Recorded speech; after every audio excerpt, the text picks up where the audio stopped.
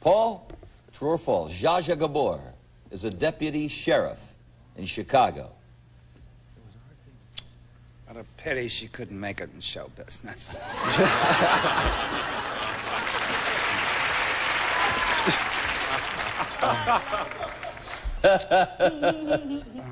Is Zsa a deputy sheriff in I'm Chicago? a, I'm a deputy sheriff in several towns. They make you honorary ones, I believe, yes.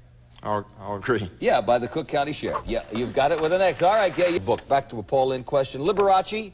Liberace. He's a lovely guy. He really is a terrific person. Great entertainer. He has a new book out, Liberace has, called The Things I...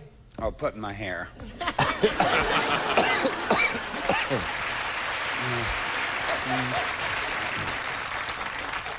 Say, Paul, uh, when is it a good idea to put your pantyhose in the microwave oven for about two minutes? House is surrounded by the police.